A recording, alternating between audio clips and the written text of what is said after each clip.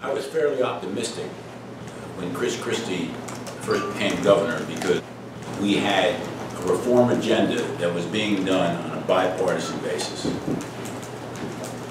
After the Wisniewski Weinberg investigations began, I believe that Democrats have taken a process of reform and turned it into an investigation into so-called Bridgegate. I want to redirect the state back to the reform agenda, and here's the plan. First, I'm going to propose a constitutional amendment that will make the redistricting process more competitive, meaning that a substantial factor in redistricting for the redistricting committee will be balanced, political balance within as many districts as possible. Governor Kean once said that most people want you to govern from the middle. Well, what's happened because the redistricting process has become partisan, meaning that they pick a Republican map or a Democratic map, and the process does not include the following factor. That factor is make these districts as competitive as possible. The reason you want competitive districts is because when you watch people vote, legislators vote who come from competitive districts, they tend to vote differently than their caucuses sometimes because they understand they have to appeal to middle ground. They have to be problem solvers. We've seen that across the board. We see it in District 1, we've seen it in District 14, and we've seen it in District 38.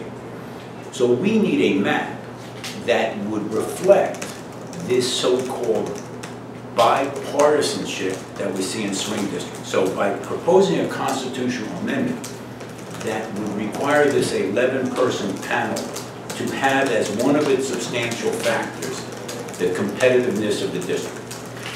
Now, of course, there's always going to be some districts that are not competitive, but that should be one of the key factors in the redistricting process. I also believe that we should move up redistricting from now seven years from now, approximately, to a short period of time after the constitutional amendment. And then we will regain that bipartisanship that is so desperately needed in the state. Right now, and you see this at the federal level, because the districts have become so partisan, representatives play to the wings and not to the middle. So that would be the first proposal that I would submit and submit by constitutional amendment uh, to the Office of Legislative Services. Second, I would establish four strategic planning committees. Now, all of you who've been down here for a long time realize that we have committees, but these committees only deal with the issue of the day. They deal with whichever bill is on the agenda. There, there are no committees which deal with long-term strategic planning. Now, any business worth its weight has a long-term strategic planning committee. So I would establish four committees, and I would want equal Democrat and Republican uh, involvement. First, a strategic planning committee that looks at the school funding formula. And the, in my judgment, the most egregious part of the formula now is that it's a formula. We saw the recent scandal in Newark, where $22,000 a month went to catering. Anytime you see that, you know that's just the tip of the iceberg. You know if you see waste like that, there's other waste. And of course there's waste. When you send money into a district that is not reflective of success or tied to efficiency, it is not going to be an efficient formula. So we need good faith Republicans and Democrats to look at that and reevaluate this so-called Supreme Court mandate. Second, the same strategic long-term planning committee would look at phasing in 401ks while preserving the pensions for those who earn those pensions and working with actuaries and experts on how to revamp that system long-term. You can't do that in one committee during the few meet- uh, meetings they have during the session. It has to be a long-term commitment. We know that we've got $57 billion in unfunded responsibilities to this fund, and therefore you need that long-term committee. All of these committees would have experts appear uh, to help the committee long, in, in, in determining what the long-term uh, procedures or long-term uh, solution should be. Another important strategic committee addresses inheritance tax, estate taxes, and the state income tax. I assure you that this is a significant threat to the stability of this state. When you talk to people who are business people, and I do this constantly, this death tax is death, long-term to this state.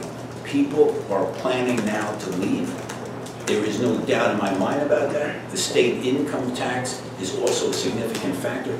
You need a group of bipartisan legislators with goodwill and uh, the ability to talk to each other, coming up with long-term solutions.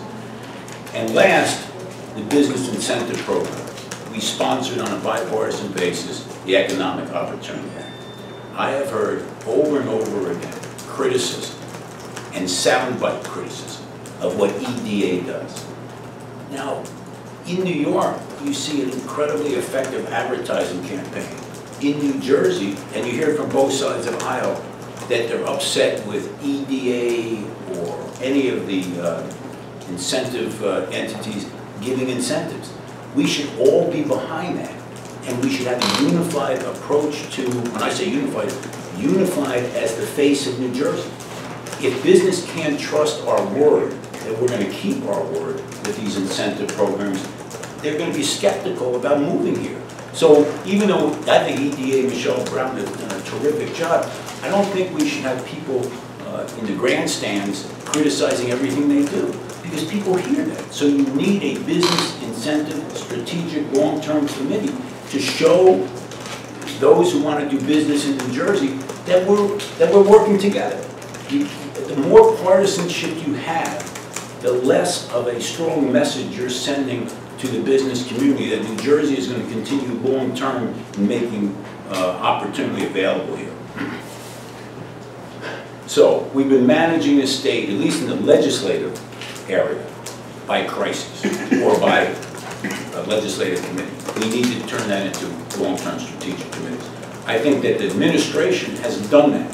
They looked long-term, and they continue to look long-term. It's time for the legislature to do the same thing.